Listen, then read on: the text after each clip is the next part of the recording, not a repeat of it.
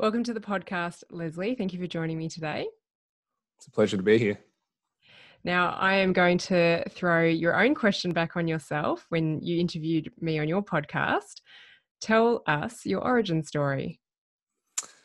Yeah. Um, look, I've been asked this question a few times and uh, always struggle to, you know, I guess, um, figure out how much to add in and uh, how far to go back. But um, I think it's important to go all the way back to the beginning. Um, you know, uh, to give context, I was born and raised in Sydney, Australia, and I still live here. Um, first generation uh, Australian born Chinese, and my parents uh, came over from Hong Kong in the late 70s, uh, early 80s. Um, you know, that generic uh, immigrant story of coming to Australia to new land for new opportunities um, with little money in their pockets and uh, you know, they uh, sort of live that life. And uh, in terms of giving myself and my brother the opportunities that we had, um, they did their best. And uh, by no means did we have, I guess, um, you know, a, uh, a, an awesome upbringing, if you say. But you know, they made it. Um, they made it work, and we were never uncomfortable. Um, but you know this sort of paints the picture in terms of like i guess this fish out of water type um, experience that i had at a very uh, early age and as as as far back as i can remember. Um, being being an asian kid uh, growing up in a largely caucasian uh, neighborhood uh, you know even the schools that i went to primary school and high school uh, i was the only asian kid. So uh, there was a sense of, uh, I guess, not fitting in, and you know, uh, maybe a underlying desire to want to fit in to some degree, um, and a lack of identity, if you will. So I guess uh, a lot of my early formative years uh, was sort of painted in this guise of um, jumping from one identity to another, trying to fit in um, to different, you know, groups and demographics and um, identities and whatnot um, you know, whether it was, you know, the kids that uh, played video games uh, and were heavily into that, or, you know, a cool kid in the cool cliques, or, you know, the, the, the kids that um, experimented with drugs and alcohol at an early age. And whatever it was, um, I always felt a sense that um, I needed to fit in somehow. I needed that validation. Um, outside of that, I suppose um, being in an Asian uh, household, there was pressure to be, be a certain way to, to, you know uphold respect and um, you know uh, go down a traditional route of study just so that um, we didn't have to work as hard as our parents uh, from a you know a laborious standpoint from a hands-on work standpoint. They wanted us to work in um, in offices and things like this. And um, i think that you know you had a similar experience Jin with your parents, um, you know, wanting you to do uh, a, a, certain thing or a, go into a certain type of career. Um, but I left school sort of not really knowing um, what I wanted to do, who I was, and uh, what life was going to be outside of this, you know, uh, very regimented, you know, uh, schooling um, period of my life. And um, I just jumped from like job to job for, for a long time. I did uni for a couple of years, but I knew it wasn't for me. I studied finance and economics, and um, I just hated every single second of that. Um, and I just could not get myself to sort of go through something that I just did not believe in. There was something that like I sort of held in myself for a, at a very young age. Like um, I'm a very practical person uh, in a sense, in in that I will not do things for the sake of doing things without questioning and without knowing why. And um, university was one of those things for me. I, I, did it until I just simply could not. I, I knew it was the biggest uh, waste of time for me. So anyway, I mean, years of just jumping around and doing uh, odd things here and there. I, I landed in you know the the finance industry, uh, one of the big banks uh, in Australia, um, because you know it was the right thing to do. Uh, finance was one of those uh, great industries that uh, our parents wanted us to get into, um, and I wanted to make my parents proud. And um, you know, I spent almost twelve years there. Um, yeah, and I did really well. You know, from a conventional sense, from outside looking in, um, I was really successful. I made a lot of money, and I continued to, um, you know, I could have continued to climb this corporate ladder and continue to be um, quote unquote successful in that regard. But uh, at the same time, you know, this this um, this itch uh, or this stone in my shoe of you know wondering what life was truly about was still there. Like although I was really good at what I did uh, in my job, I still hated it, and I did hate every moment of it. Um, and you know, again, the, the types of things that I sought to uh, escape from this uh, this reality that I was sort of pushing myself into was like drugs and alcohol, antidepressants, and all these sorts of things. Um, really, just to not have to face those questions that uh, I sort of needed to face for myself. Um, you know, asking why I was doing what I was doing and what what it was that I potentially wanted in life outside of this, you know, mundane nine to five that I was um, that I was doing.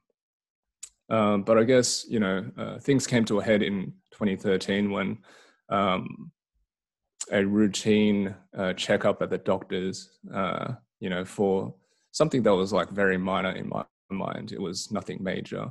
Uh, I was always always thought that I was a healthy person, but um, this checkup it resulted and came back with it with a cancer diagnosis, and um, really it was one of those things that were uh, came out of the blue and just um, really pulled the rug from underneath my feet, and uh, yeah, it shifted my my life uh, trajectory for sure like it was one of those moments where I sort of felt, um, you know, I was given that ultimatum. I had to ask myself those hard questions. Um, and yeah, so that sort of set me on a on a pretty long sort of journey that that continues on to this day of self discovery and um, just figuring out who who I was and what I represented as an individual um, and what sort of um, inherent values and principles uh, I innately held, like underneath all the layers of uh, cultural and societal conditioning.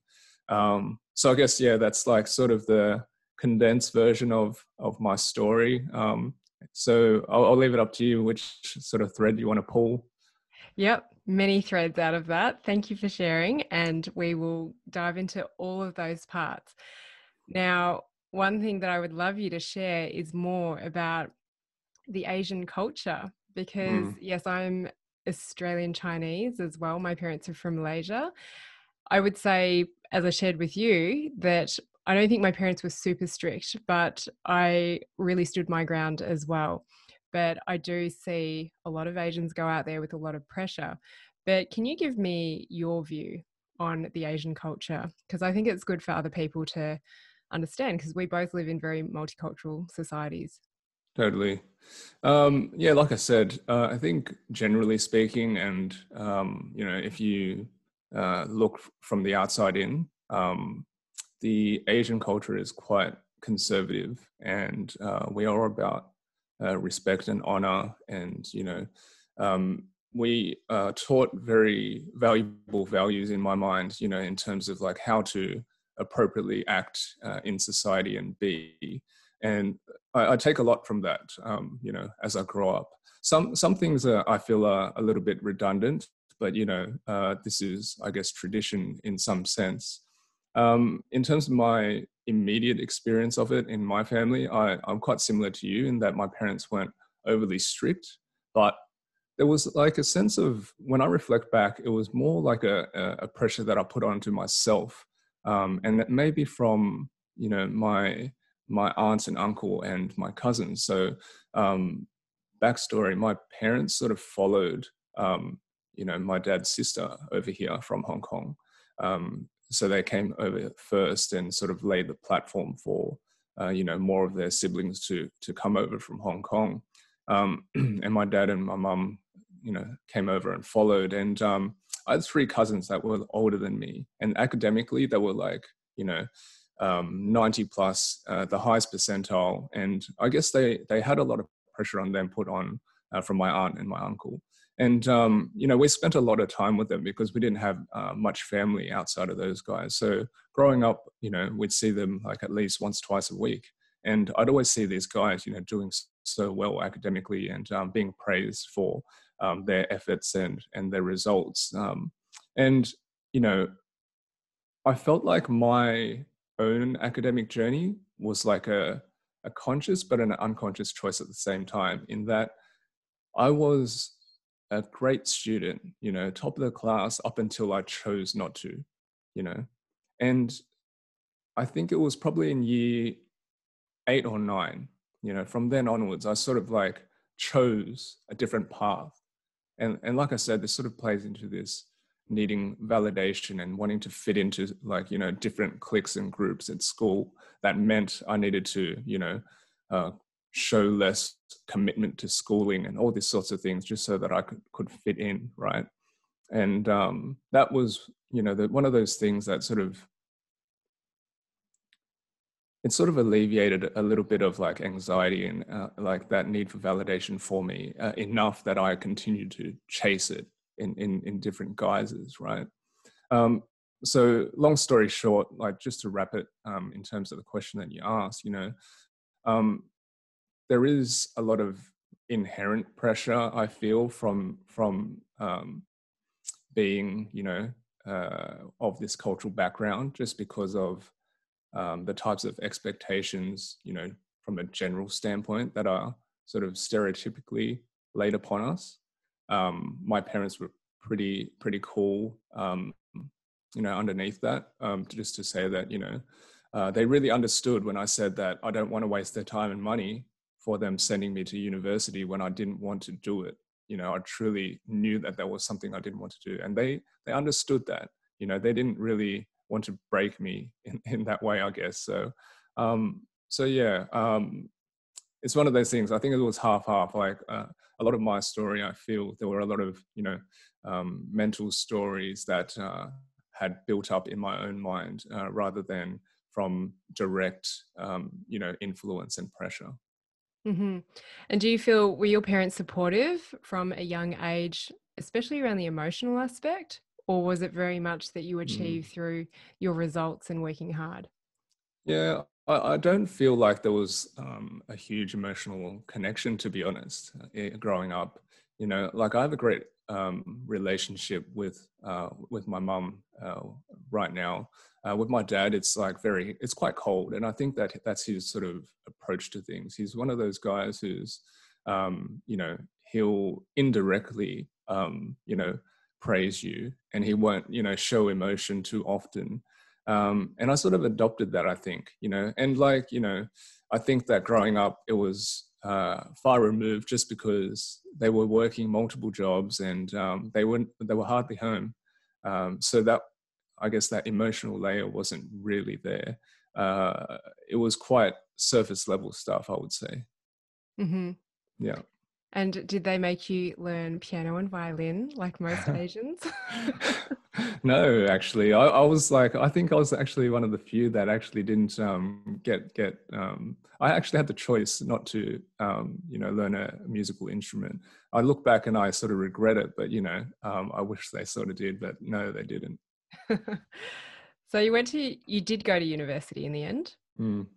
Yeah. And you got into finance. Now, I feel like sometimes when people just give me their job title and don't elaborate with some excitement, and obviously you've told us that you hated your job, but you were good at it. I do sit there and go, Do you actually like your job? Because it is such a broad topic. But can you just delve into what kind of finance were you in? Yeah, uh, so I was in superannuation and investments, so super exciting already. Um, but uh, in in that space. Uh, I started off, you know, entry level, um, and uh, there was really a foot in the door. But um, I spent a couple of years just sort of um, uh, floating around in administrative roles until I set foot into um, project management space, where I basically uh, delivering projects for um, I guess, regulatory changes within the bank and things like this. So just major changes that sort of impacted um, my division, which was uh, the operations space. Um, and outside of that, I guess uh, I dabbled in uh, quite a lot of management and mentorship and um, coaching and uh, and yeah, uh, just generally in this space um, and towards the tail end there was uh, a lot of technology as well so, as you know uh, technology became a bigger player in in the bank um, so yeah and was it just that you knew that this wasn't your path or can you tell us a little bit more about what it was that you hated about it? Was it the environment, the people, the values? Quite a lot of that stuff, actually. Um, look, to be honest, look, uh, I went in there um, not knowing that it wasn't um, a calling. You know, I went into taking the entry level job because I knew that there were avenues to to climb and progress. You know, um, and I think that was something that my parents really wanted me to or see me do. Um, so I did that. Um, so much of the job uh, really didn't align with my personal values in that uh, a lot of the people that I interact with, they they care more about you know um, what affects the bottom line rather than what uh, the right thing was to do. You know, and I think this is something that, like a, a lot of the time, I sort of use that analogy of, you know, um, band aid fixes versus recognizing root cause. You know, there's a lot of that that happens, and like I understand that the decisions like that that happen in big corporations, you know, they're driven from the bot, uh, the top down, but at the same time, you know, you sort of lose sight of what the um, you know the intention of each project or each um, you know action really is. You know, at the end goal, we're trying to help customers and uh, make a better experience from them and, and things like this. But um, a lot of the time, I saw that those sorts of values were swept under the rug um, to make ends meet from a financial standpoint. So I didn't really agree with that. Um, and you know, a lot of that sort of just stemmed out through the way that I, you know, interacted. Like I said, oh, I was um, very good at my job. I was successful as a uh, one of the you know most experienced project managers in my space for for some time, and um, my voice was um, influential in some like you know if you could say that um, in some regards. But um, at the same time, a lot of people didn't like to hear what I was saying just because it was, um, I guess, controversial and it didn't align with what was um, what the business overall is trying to trying to achieve. I guess when it comes to like um, the bottom line and things like this. So I, I, tended to rub people the wrong way, especially towards the end of my um, tenure there. Um, but to that uh, uh, by that time i really it didn't really bother me uh, i just really wanted to express my truth and like act in in the best um i guess i wanted to act on behalf of who i thought we were trying to work for at the end which was the client and not so much you know trying to fill our pockets more and more mm-hmm. yeah can you take me through when the depression started to hit or when you started to take dep- antidepressants and mm. get into the alcohol and drugs? Yeah, I mean, alcohol and drugs was quite early. I started, um, I guess you start binge drinking in high school. So that was like, I think I was like 16 or 17, started smoking cigarettes and things like this. And I think that was more like at parties and things like this until it turned into something that was um, more regular and uh, that that sort of played um, quite a significant part in in most of my you know um, I would say most of my twenties you know um, up until I got diagnosed with cancer um, up until I was uh, 28 years old. Um, I had stopped cigarettes earlier than uh, than that, but yeah, the drinking was quite consistent. Um, with experimenting with drugs again, it was probably early 20s when I actually started, and that sort of rolled on, um, you know, for quite a few years. And um, there were a few years where it was quite heavy, and um, I did it quite regularly. Um, all the, drugs? you know, so I was smoking weed and um, cocaine and things like this. So yeah. Um, I speak to a lot of people in the finance industry who seem to get into cocaine. Yeah, I mean, it was um, it was just one of those things. Um, it's it's part of the culture a little bit, I suppose. Um, so yeah, it was just one of those things that it, it seemed very, um, you know, off the cuff that they would just say, you know, we're going out for drinks and we're just going to have um, a, a, little bit of fun with with cocaine and things like this. So you know, um, it didn't feel too uh, illicit or, or, or wrong or um, or anything like this, um, especially in that space. And when you um, look back on it, hmm. knowing what you know now, why do you think you got into the alcohol and the drugs? Oh, it's just to escape. To be honest, like like I said, I I always had some some sort of inkling whether it was it was probably more like a um, an emotional inkling rather than like an intellectual one. I really didn't understand what it was, and I didn't really care or didn't want to, um, you know, delve deeper to to understand that a little bit more. So um, it, it scared me to to have to face those sorts of things because I knew that you know ultimately, if, if I'm re- reflecting back, it meant that uh, some of these identities and um, uh, the, the ego side of me would have been shattered and um, I'd probably lose that. So um, I think ultimately when I look back, that's why I sort of um, wanted to escape through those uh, avenues, right? Um, mm. and it did give me momentary escape. So, mm. yeah. I just have a random question for you. As an sure. Asian, as a mm. fellow mm. Asian, can you tolerate alcohol? Uh, I got pretty good at it. I got pretty good at it. Yeah, at the start I wasn't very good at it, but um, yeah, I got pretty good at it. There's this um, well, I cannot tolerate it, and I just mm. will not drink. I used to as a teen, but it was just mm. so hit and miss. And I think I've only ever been happy drunk once. But it's the whole alcohol alcohol dehydrogenase enzyme. You're meant to have two, and a lot of um, I think Indigenous Australians, Maori Islanders, and Asians are lacking one of the enzymes. I'm mm. definitely lacking one, if not two of them. My blood pressure will drop. I'll get sick.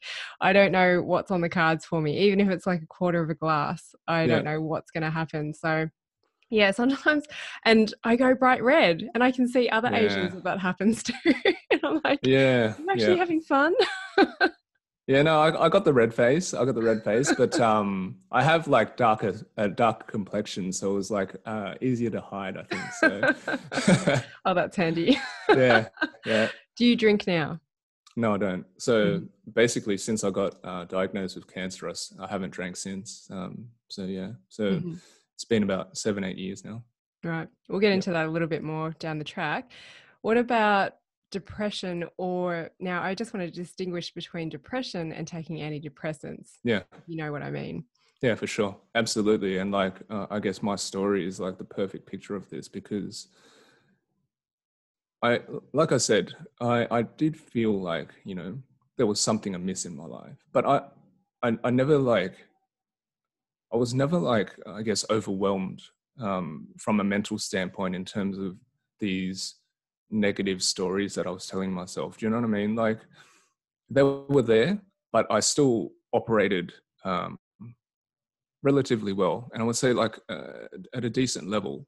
Um, but they still swirled around in my mind uh, these defeating thoughts, and you know, um, I, I, remember distinctly. I don't even remember how old I was, but I remember just going to the GP. And if I if I had to put it, it must have been like in my early twenties or something you know I, I, went to the gp and I, and I just said that i think i might be depressed. And he just asked me a, a simple like two or three questions you know like uh, do you have do you always feel sad or you don't feel like you have hope or and and the final question was like you know do you have uh, have you ever thought like suicidal thoughts? And you know um i couldn't really discern between thinking these suicidal thoughts which i had versus actually practically wanting to act that out, right? I never wanted to do that, but I, sure, sure enough, like I've thought about these things, right?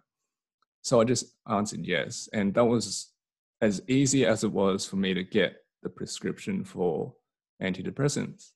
And I can't remember what they were. I just I remember I just took them home, and I'm just like, hopefully this will make me feel better.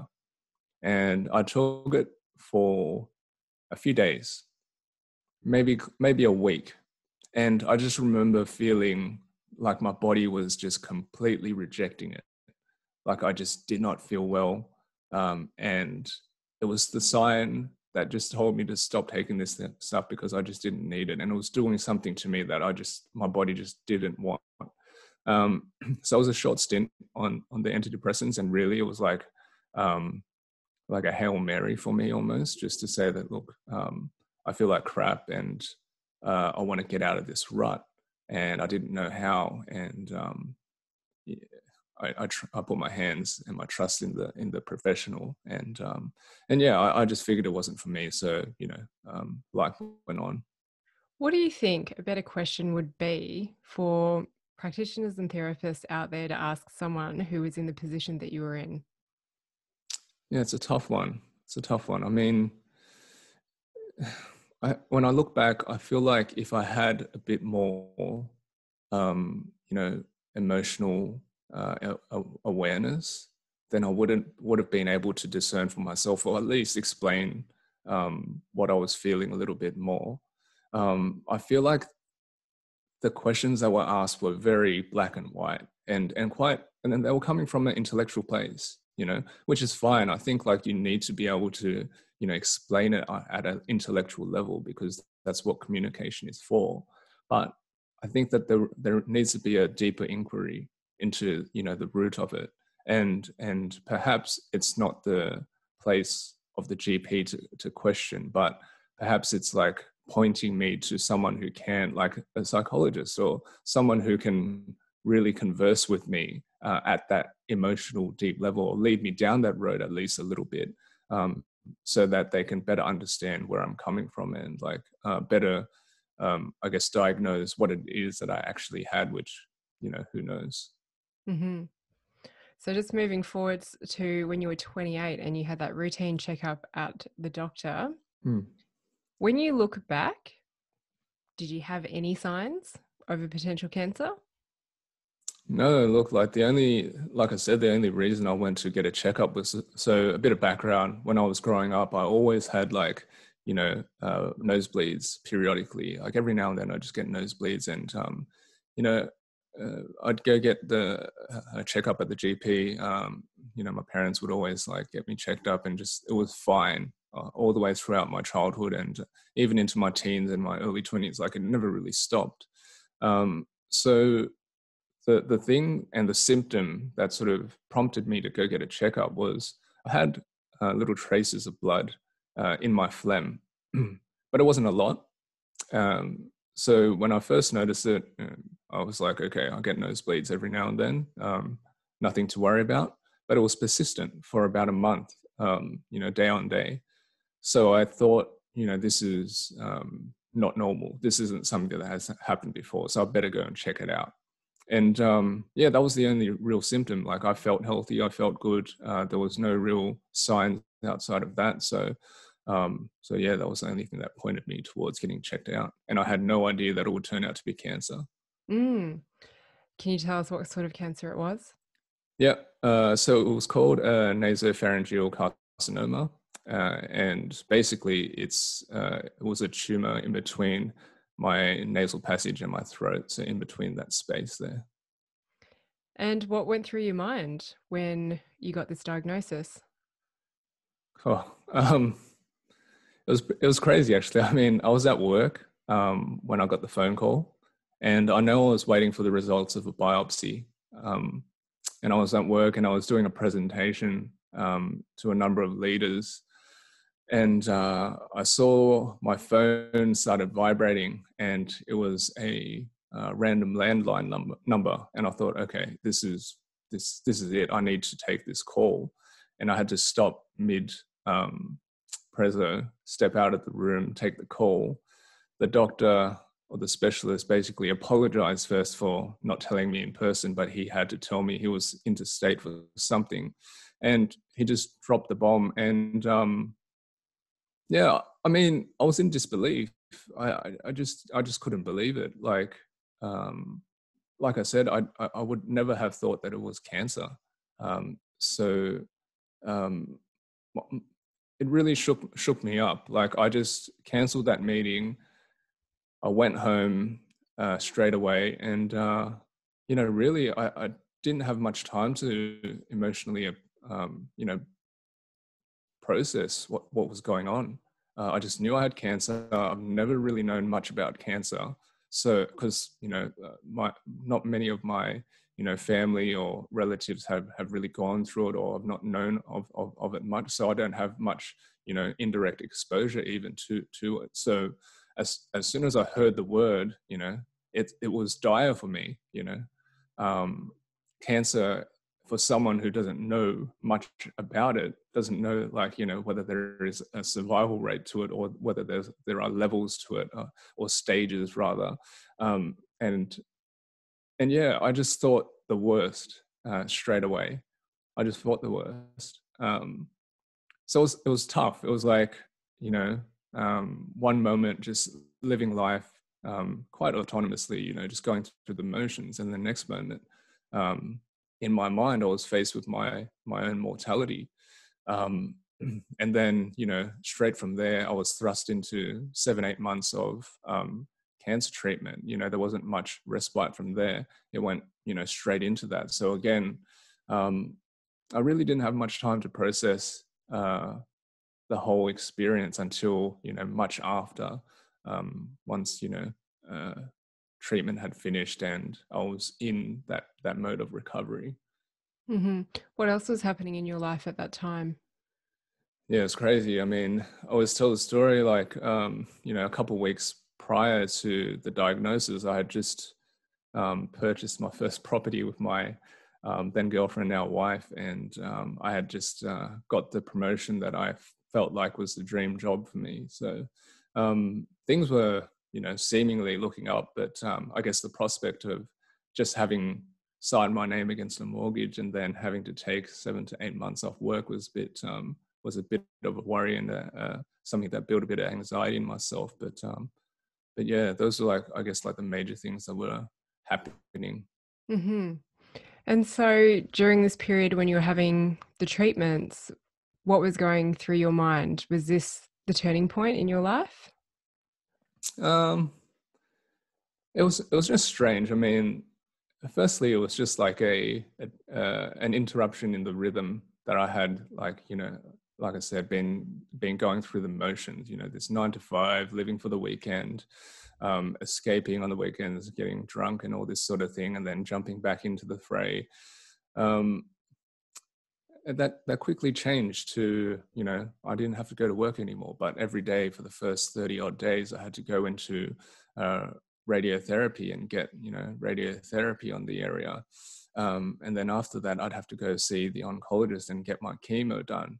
And after the chemo, I was just at home and like I just had so much time on my hands and. Um, you know, my dad was looking after me. He took um, time off work to look after me, and um, yeah, it was just a complete different sort of space that it put me into. You know, I, I found a little bit of space in there, and um, I was able to reflect a little bit, and that's when it started sort of moving for me. And um, I think, you know, it wasn't a particular point in time; it was quite gradual, um, like most things are in terms of revelations like this. But um, uh, as a young man going through the treatment, I was assigned a psychologist as well to sort of help me through the stress and anxiety of you know everything that comes with cancer and um, she recommended meditation to me. And it was the first time that um, you know meditation was something that she re- that i had you know really dabbled in it. And um, you know it took me about 18 months you know on and off to develop a um, consistent practice. But this was really when i look back the foundational you know tool and practice that i took that has truly transformed my life to you know the life that I live now today in being you know someone who builds and designs and teaches meditation and like builds uh, workshops and uh, has an online program and things like this. So so yeah. And that came out after the cancer diagnosis. Did you return to work or did you transition into yeah i, I returned to work. I um i returned to work after uh, treatment and i stayed there for you know um, probably another five odd years before you know um, I practically put in place the things that I needed to do to you know exit corporate. So, um, like I said, I was still um, I guess uh, cognizant enough to understand that I couldn't just get rid of this job that um, was sustaining my life. Plus, not knowing exactly what I wanted to do with my life. So um, it was a very slow process of transitioning out of uh, my corporate job to you know founding my own business and running my own business and things like this. Um, you know it, it, was a it was a long process. I started simply writing every day um, and I created a blog and I put that up every day for I think about 18 months. I wrote one piece every day for 18 months, and that's how I sort of started. Like this was just like a cathartic process for me to sort of inquire um, within, really unpack these old stories, and just understand what was going on inside me. You know, outside of the noise and um, you know busyness of the outside world and and that sort of like opened a lot of doors for me like in terms of my my mind and my perception and how i saw um, the world in front of me and how i experienced it so mm. i want to go back into the cancer diagnosis a little bit mm. i'm curious as to how your parents reacted and has that then resulted in any change in your relationship mm.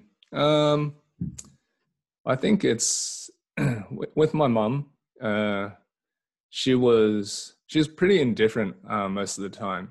But she was like like obviously she was upset for me, and um, she was quite helpful throughout the whole process. Uh, with my dad, he is, I feel like he's one of those people who sort of faces like hard times with just like a like I guess the guise of of strength and um, you know we'll get through it. And he was it was quite um, it was quite cold, I would say, when when I first when we when we first sort of told him about it. He was sort of just like, "It's happened, just deal with it," type of thing, um, without showing much emotion behind it. And um, it sort of hurt me at that time. I, I can recognize that, you know, uh, I was wanting a little bit more from him emotionally, like support wise and then I look back, you know, um, the whole time that he was sort of caring for me full time uh, throughout my treatment process, he was uh, very caring and nurturing.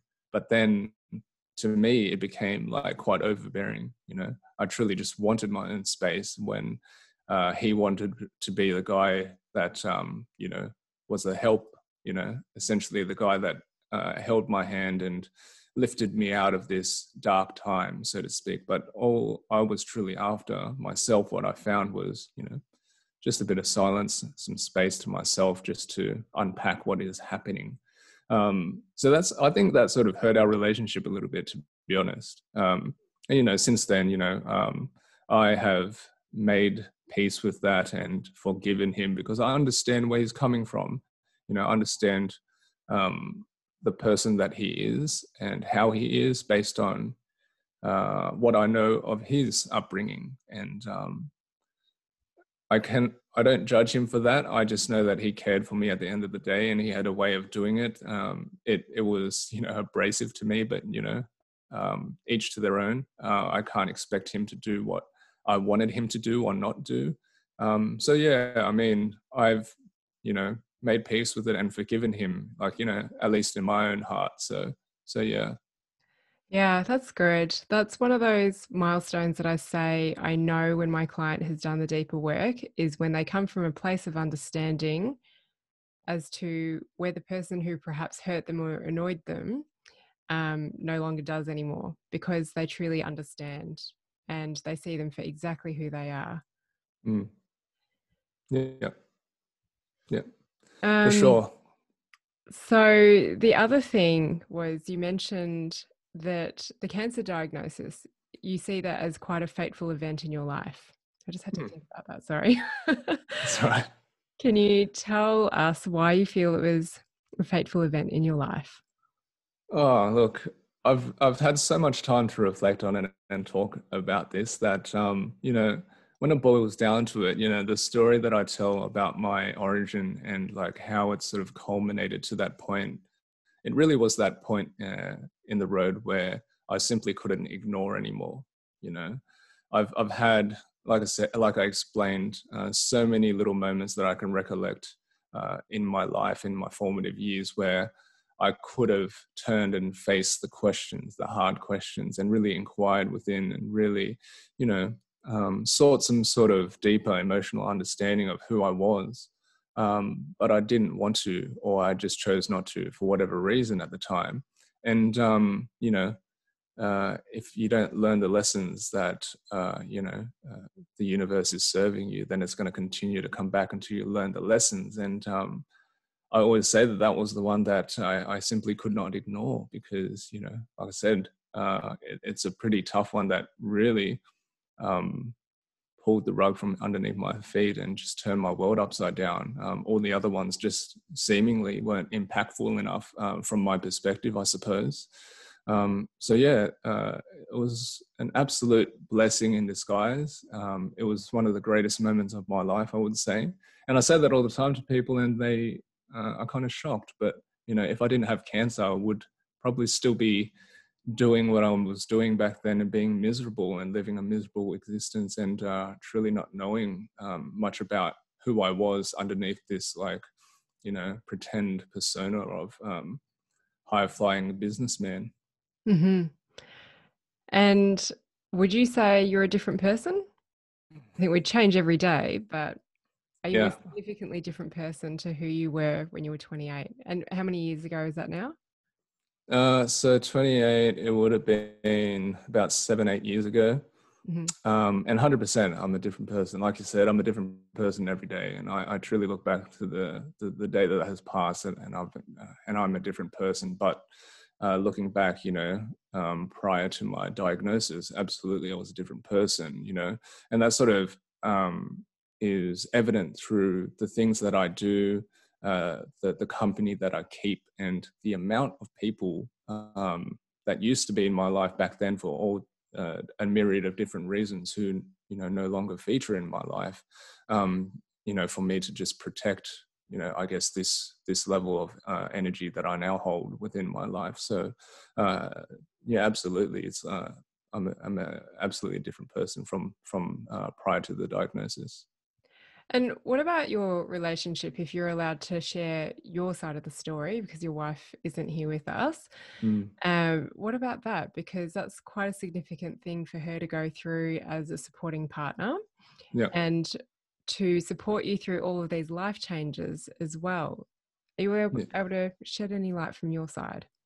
Yeah, for sure. I mean, she's been really supportive. She's always been a very supportive person. And I, you know, I always reflect upon this as well in terms of like um, how much a relationship can teach about um, uh, about you and vice versa. And I, I, think that we spoke a little bit about this on on on our podcast, and I think that um, you know it's a reciprocal thing, and it needn't be necessarily uh, intimate relationships. But um, I think when I look back, even to the point where I got diagnosed, like the thoughts that were going around in my mind in terms of relationship was like, oh, is she going to leave me now because she doesn't want to like be with this dude who's going to die from cancer or something like this? So that was that was like my immediate thoughts on the on the day of diagnosis. I remember I went back to her place, and um, that was the like the types of questions I wanted to ask her. Um, but you know, even to this day, like you know, supporting me emotionally through this whole change, like um, understanding that you know my own priority no longer lied in anything outside of myself. You know, I think that's a lot of the time that's tough for people to hear, especially in a intimate relationship. You know, um, when I was basically saying that I am my number one priority and um, not anything else, uh, nothing else, you know, uh, can you know uh, can be higher than than that, and my commitment to that. Um, when she didn't, she didn't, she understands that, you know, uh, and I think from a egoic sense, I can understand if like, you know, that would be hurtful um, if someone said that.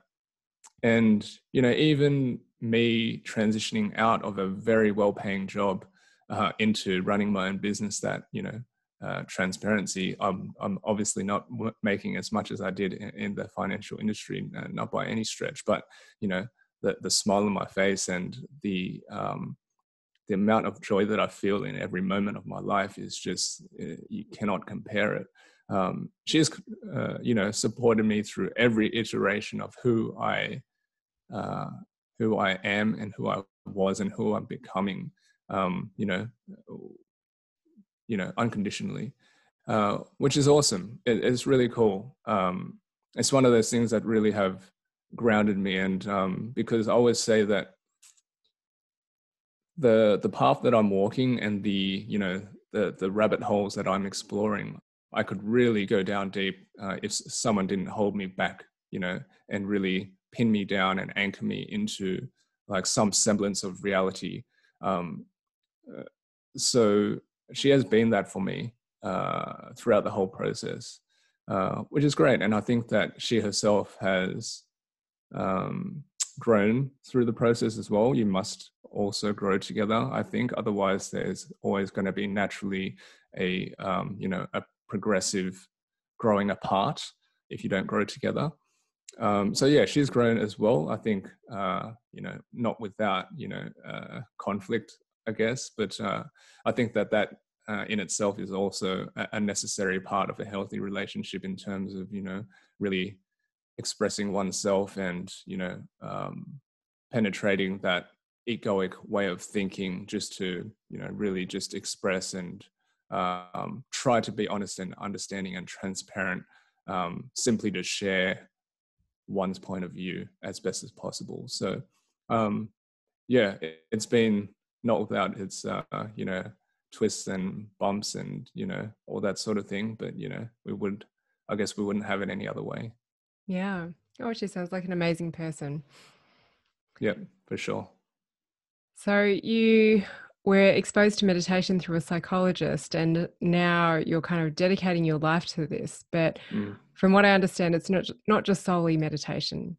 Yeah Can you tell right. us a little bit about what you think this life is all about?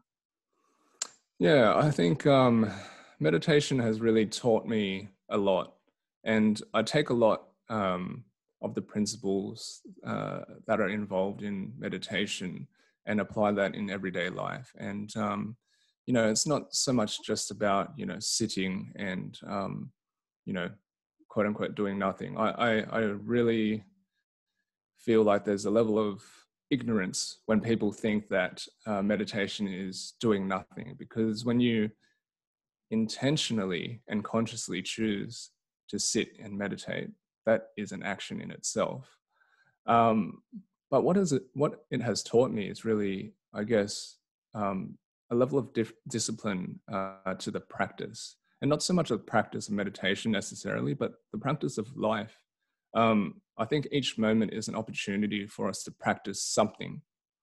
Um, and there's so much that can be told in that. But like, you know, I refer, I refer to a lot of, um, you know, Eastern philosophy, and I, I really uh, resonate with Zen Buddhism.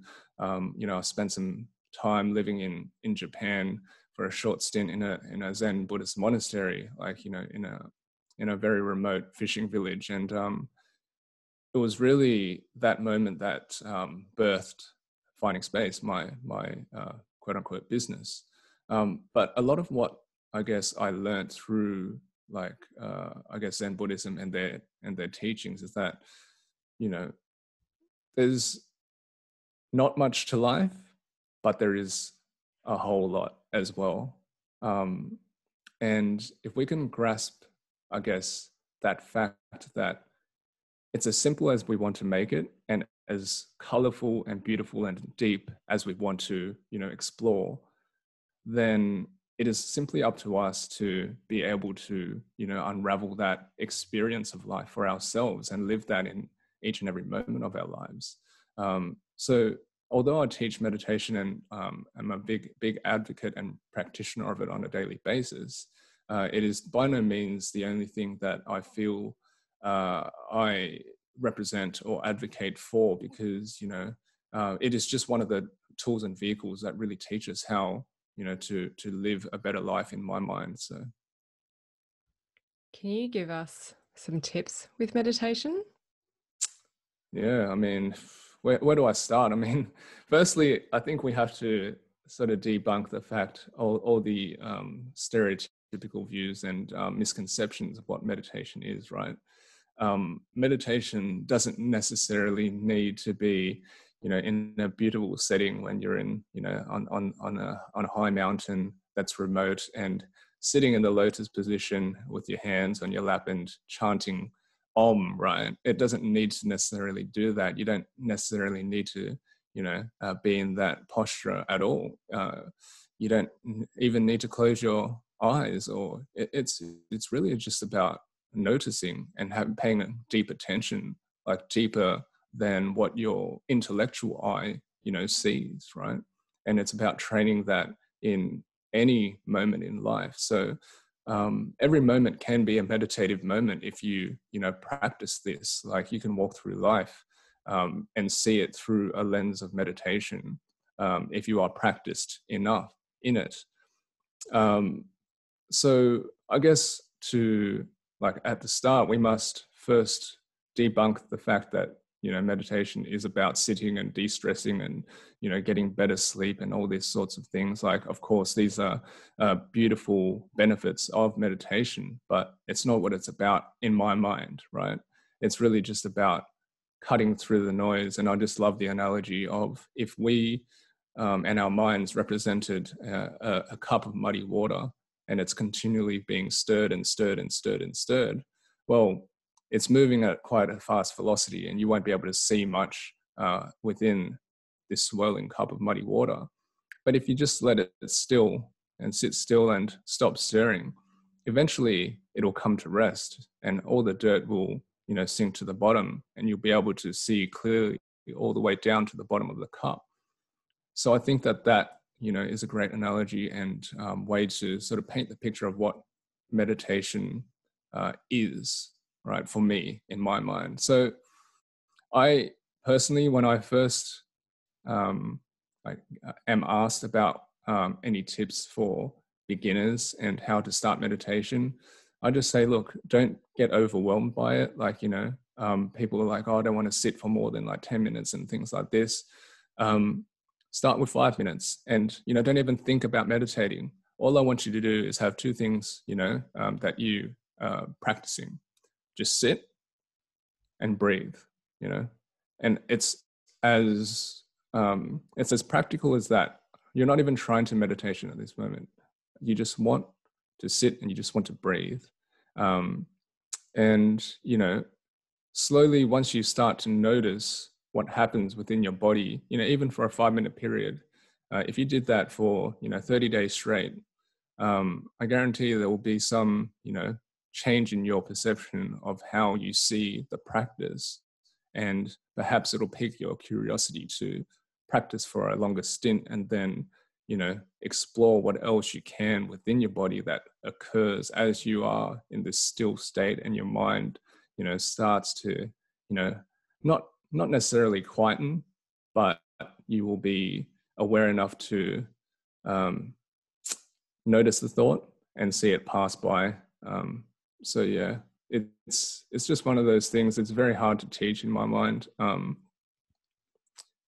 in my program i start off with something similar an entry level for the first module it, it is about you know doing something similar as i just um, you know described um, just to get someone uh, really connected from an emotional and and uh, visceral standpoint first you know and i call it just dropping out of your mind and into your body and if we can do that um, as a starting point, uh, then you sort of you peek your foot into the door of meditation. Yeah, I like that. It is just getting your foot in the door with it. And as you say, it's, I'm sure you're a great teacher at it, but it is the experience. And we can hear about how to do it over and over again. But actually, you've got to get out of your head and you just have to experience it and see what happens. Yep, 100%. My only exposure well not my only exposure actually actually it was my dad who he i think he had like a second lease on life and i remember him learning how to meditate and going to these buddhist weekends away mm. um, and staring at a candle flame there's so many different methods out there Yep. But my first proper experience myself with meditation was Vipassana meditation and that is quite full on for a lot of people and i now know with all the work that i do and i personality type my clients i know the ones where it's going to be too much for them but i still like yeah. to let them know about it so that maybe they can dip their toe in and try that out but i say there's so many different meditations out there just try whatever comes up for you and see if it resonates but give it a go totally. Um, but I remember being in Vipassana. I've done several and did one when I was pregnant. And my first one, I was like, this is amazing. If the whole world meditated, we would not have issues because we would become so much more aware of our physical body and our emotions. And all the answers come to us. But I think Absolutely. maybe it, it, does take some people a few Vipassanas before they get to that stage, and some people never go back and try again. But I remember mm. meeting people with chronic pain who had gone to see all the best specialists out there. And after a meditation session, they were highly aware of the sensation, but they didn't react to it. Like they didn't move out of the position. And because they sat there for an hour, they got up, something released, audibly cracked in their body, and then it's like everything just clicked into place like dominoes for them. Yeah. Now, I'm not saying that happens with every time you go to a Vipassana, but I've heard numerous stories like that. So I always love talking to people on day 11 whenever it is you're allowed to open your mouth and just hear people's stories and their experience. And yeah. I think some people crave, and you know, we learn in meditation not to crave or have aversions and want that other person's experience. But sometimes you just have to keep going, and that's your journey. And I think a lot of people set unrealistic expectations on themselves. So I personally don't meditate right now, although you talked about just sitting and breathing. And I remember coming out of my accounting meeting yesterday and feeling a little bit stressed and going, I just need to sit and breathe as I drive home and just yeah. try and embody the state of calm that I know that I can that I can elicit in myself. But yeah, I don't put pressure on myself to go and meditate for an hour morning and night, which is the Vipassana way.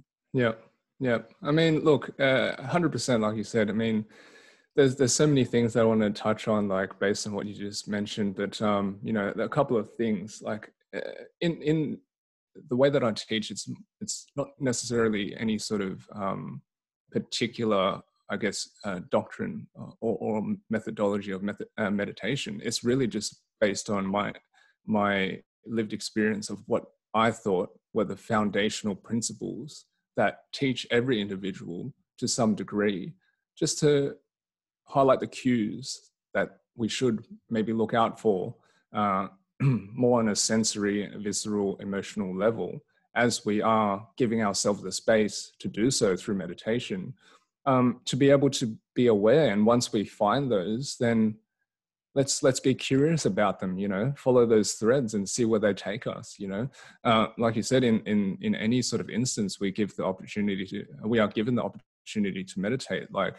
uh, some uh, parts of my program, I, I sort of explain like, you know, if you're washing the dishes, you know, it can be just a, a task of washing the dishes and you're sort of wanting to just get through the, the, the process of, you know, um, you know, cleaning these dirty dishes, or you can hear the water as it comes out of the tap and you can see as the water changes trajectory as it hits like a spoon you know and cascades down and how that changes the the sound of the water.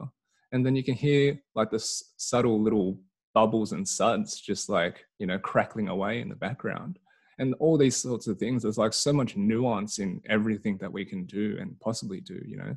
Even when we're driving and things like this there's a difference between us like just trying to speed away and being conscious of time to get to the next meeting or whatever versus really being aware of what is happening around us as we're driving you know the feeling of the uh, our butts in the seats and our, our, hand on the steering wheel and you know the different sounds that are uh, occurring close within the car and the, the sounds that are occurring you know far away outside of the car. Um, and then you know the most advanced like sort of techniques is like you said about you know um, acknowledging uh, sensations like pain and as just another bodily sensation no different to anything else in your body right? Um, you, once you can sort of see pain uh, in your body as simply another, you know, uh, just some another sensation that you feel, you know, outside of happiness and you know sadness and anything else, a physical sensation that you feel. Um, it just becomes another point of focus for you as you meditate and a point of inquiry as to why you might be feeling that way in that particular part of your body as you're sitting, you know, at the 45 minute mark, you know.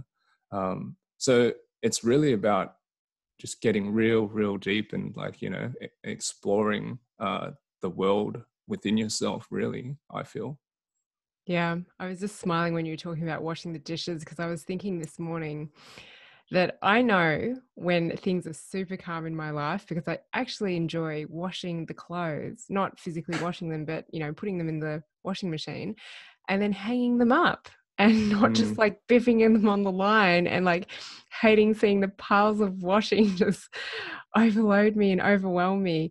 So, yeah, that's when I know I'm in a good space when I can actually appreciate and I enjoy hanging the clothes on the washing line rather than thinking, God, I wish I could hire someone to just do my washing and fold it and put it away for me. I, I, always say that that's like again it's part of the practice and a, a way for you to like you know recenter and just um, be aware of those you you know that like you know it doesn't matter what task it is that you're doing like like you said washing the uh, the clothes and hanging it out on the line you know you are capable of feeling joy within you know those tasks. Like i felt that uh, and first understood it whilst i was you know taking the clothes off the line at the zen buddhist monastery when, when i was doing the work there. And i was just folding the towels into these like beautiful crisp squares and they were all aligned. And like I, I, I felt like there was like a moment of like just you know I was right there, enlightenment almost. It was so joyful, um, and I was just folding towels, you know. So uh, every moment, like no matter how how difficult, like quote unquote, things might be, I think that like you know. Uh, understanding like labor is, is a, a, a critical part of you know everyday life is like it's, it's really a, a beautiful thing oh it definitely is is there anything else you want to share before I go into how people can find you?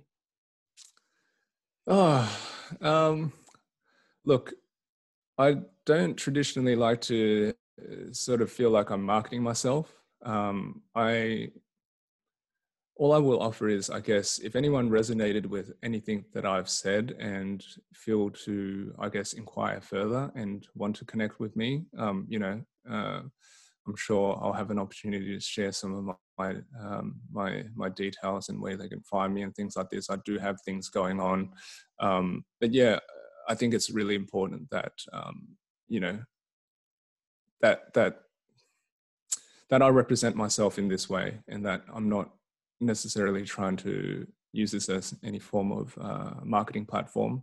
Uh, I just share my truth, and if people resonate with that, then beautiful. But if not, then that's also beautiful. So yeah. Mm-hmm.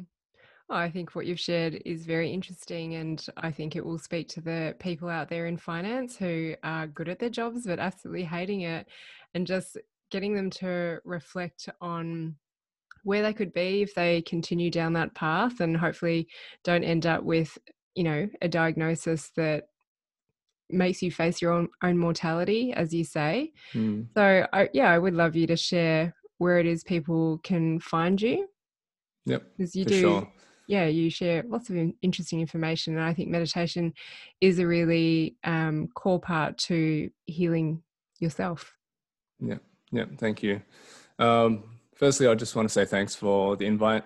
Uh, really like talking with you and, um, you know, uh, I think that you and I, uh, we, I, I, do resonate with you and the message and and the work that you do. So so thank you for the uh, the platform, um, just for me to share my truth. Um, people can find me at my website findingspace.co. Um, you can find out about my meditation program there as well as my uh, one-on-one mentorship programs. Uh, I do only mentor a limited number of people per year just so that um, I'm able to give the adequate attention to each individual. Um, but yeah, uh, you can inquire about that through my website, uh, you know, and, and, anything else that is sort of coming up, up uh, for me, um, whether it's on Instagram and Facebook as well. My handle is at findingspace.co. Um, and I guess the last thing that, I might share is uh, the new program that um, my podcast co-host uh, Sean and I uh, have recently launched is the True North program. we're sort of running a small, intimate transformational program that runs over six weeks uh, to essentially help people um, prepare for the journey of, of, of um, you know, self-inquiry and self-exploration. Um, so if you want to find out more about that, it's um, the details at true-north.co. How long is that program? It's a six-week program. Okay, great. And is it open to men and women, or do you just work with men? Yep, open to men and women. And um, the, I guess the important thing is it, it is uh, by application only. We only take a limited number of people just to make sure that it is interactive and intimate.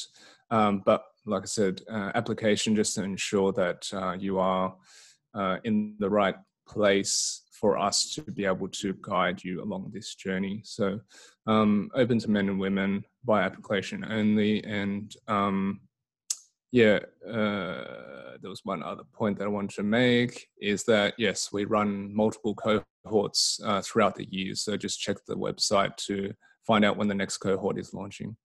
Cool. Sounds great. And I'm sure that if it's not the right fit for them, you'll point them in the right direction. Absolutely. Thank you so much for your time, Leslie, and sharing your story. Thank you for the platform again. Thank you.